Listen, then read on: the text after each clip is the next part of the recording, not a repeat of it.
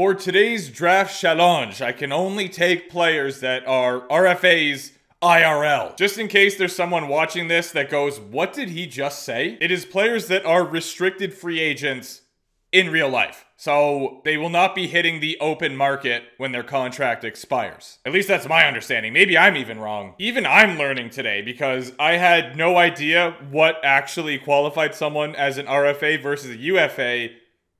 But this is interesting. A player may only declare himself to be an unrestricted free agent if he is over the age of 27 or has played in the league a minimum of seven years the more you know. Because I'm using this website, Spotrac, that basically has all the upcoming free agents, and I see that Victor Olofsson is an RFA, even though he's 28, which means I guess he hasn't played in the league for more than seven years. Or I guess it's more than six years, but at least seven. Anyway, hopefully this website's accurate because my level of knowledge for hockey management in this regard is very bird's eye, as you can probably already tell. All right, it is finally time to find out which team we will be drafting for, and this time around it's gonna be, boom, the Pacific All-Stars. No, re-roll, the Seattle Kraken. Wow, I don't know if we've ever got them either. This is like back-to-back -back drafts where we got teams that we never get. I will not be realigning the divisions. However, I will be turning Fantasy Draft on, Owner Mode off, and Jabroni off. Also Fog of War. No thank you. Not down. Let's go ahead and get started here. Which draft it? Oh wait, uh, 14. I forgot I was supposed to do that. Oh, I was kind of close. We got 18, so we're right near the middle. Jason Robertson seems like a pretty good way to start. Loaded with abilities. And on top of that, 92 overall. Uh, yeah. I cannot lie to you. I feel like this draft is going to be harder than I thought. But we're going with Jeremy Swayman. He's 88 overall. Get on the team. Bowen Byram. 3.8 million and an RFA. So there you go. Filip Hronek, another defenseman. I'm not sure what the handedness situation is, and I'm not too worried about it because we have seemingly slim pickings. So, gonna just take whoever I can get. Maccelli, 84 overall. We do already have a left winger. And we have no other forwards, so this is rough, but it is what it is. Casey Mittelstadt is another good player for us, and he's a centerman, which we need. I'm sort of just looking for centers right now. The first one I came across here is Frosty the Snowman. So, let's go ahead and get that contract signed. Nicolas Hague, we meet again, and you are on my team again. I feel like I've taken him before, right? Probably multiple times. Maybe I'm making that up. Also, if they signed an extension, I don't care. I'm going based off of their current contract because otherwise, this would be a dumpster fire. We're doing all right for defensemen. And Dante Fabbro is another good addition. Another defenseman? I don't know what to do. Olofsson's near the top of the list on this thing I'm looking at, so yeah, there you go. Luostarinen, 81 overall. Are we even gonna get to the cap space?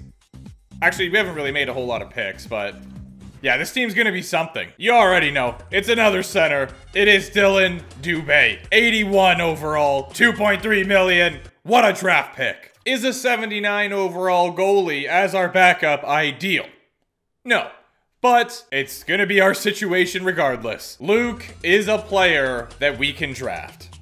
So you will be drafted. And a right winger, so that works out quite well. If our team does even remotely good, I am going to be blown away Geekie will be joining the team as well. There will be no shortage of centermen on this team. However, right now we're going after a right winger in Allison. Actually, we're almost done here. We only need three more forwards and a defenseman? No, two more forwards and a defenseman. Okay, we got a few options here. These three are all RFAs, and two of them are right-handed, one of them is left-handed. So let's see what we need. So we've got right, left. Okay, that's good. Right.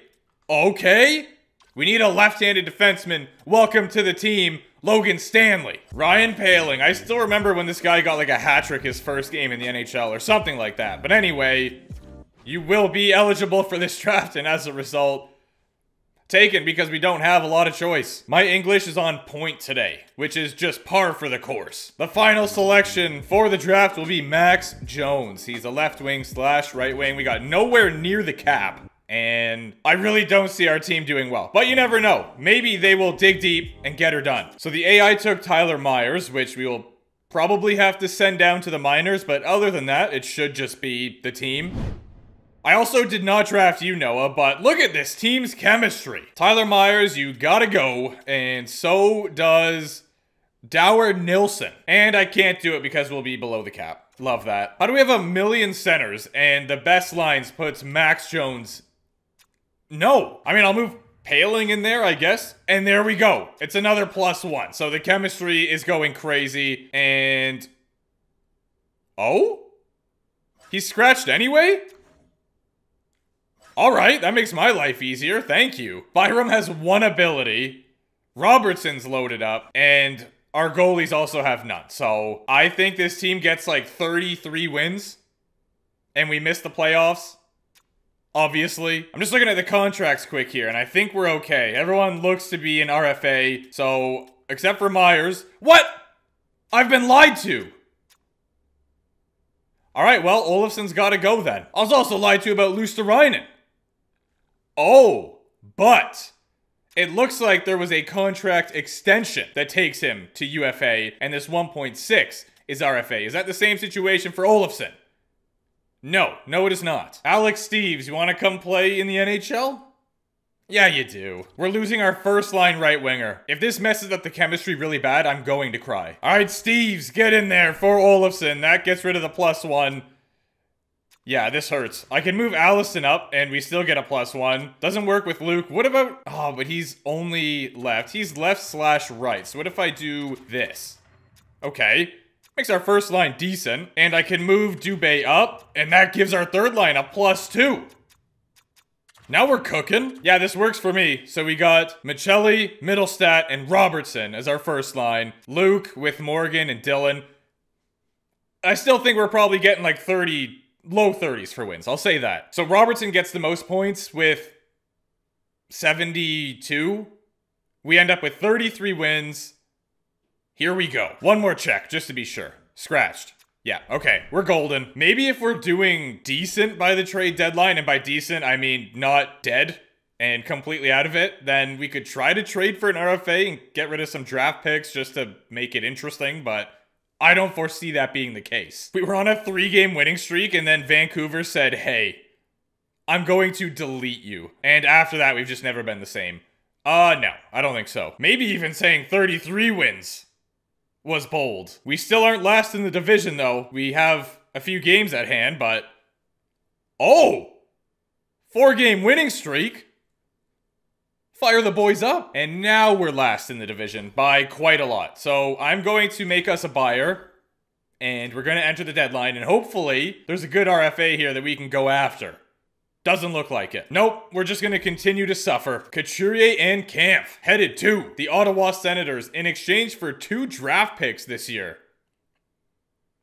That's a trade. A first for next year, a second this year, and Korpisalo headed to Arizona in exchange for Jonas Brodin and Frankie Vatrano. Another one, holy crap. Two firsts this year and next year, Broberg, and a second for Pietrangelo, Barabanov, and Vlasic Pickles. They must have done an update of some sort that addressed trades not happening because there's like a million. The last two drafts we've done, Tarasenko and Orlov headed to Vancouver in exchange for two firsts People just throwing around draft picks like it's nothing. First, especially. And Evans. This has to be the last one. Lindholm and a fourth. In exchange for a first and Couture. Nope, we're not done yet. A first going to the Golden Knights in exchange for Nick Schmaltz and a seventh. There we go. If you were to just make a team of RFAs minus the draft aspect, they might actually do all right, but having to draft, aka other teams are also taking these players, makes it very, very difficult, as you can clearly see. All right, let's try to win out here. No? No, not quite. Actually, we're not in the playoffs, so I'm going to sim up to here, and then we can take a look at the two lines of the Stanley Cup finalists. It is a Calgary Carolina final. The Flames have Will Nye the hockey guy, Sidney the kidney, and Zuccarello. The second line is Bryan Rust playing with Kadri and Marchessault. They do have a good team. Defensively, also great. Chabot and Spurgeon, Burns, OEL.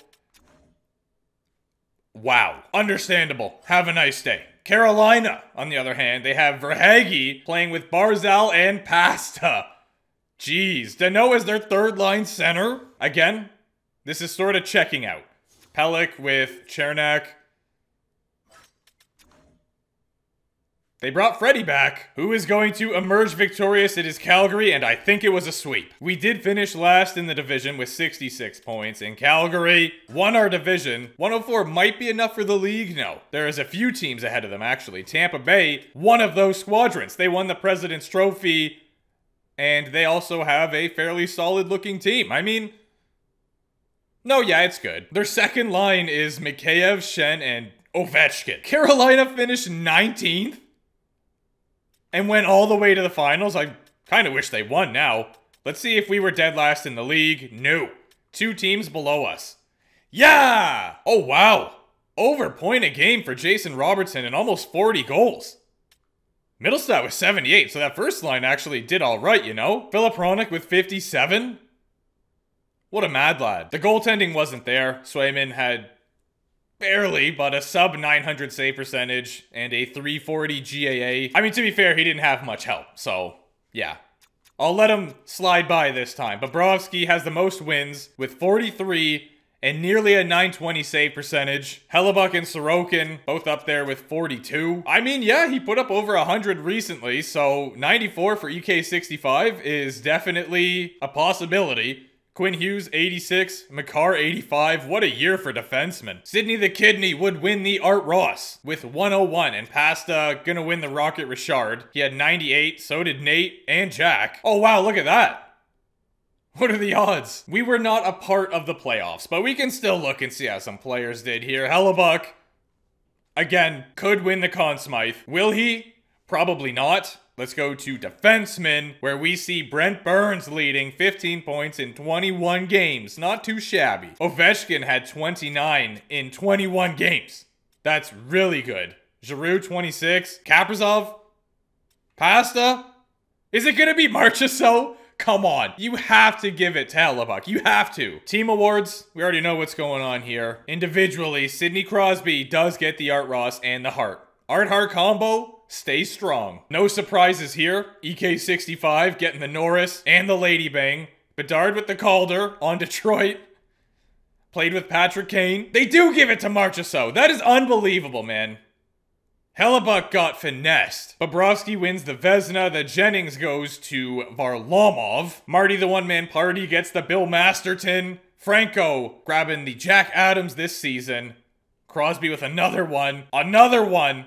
And we already saw that Pasta won the Rocket Richard with 58. Here is your playoff tree. It wasn't a sweep in the finals, actually. But yeah, Calgary never struggled. They went to six games once.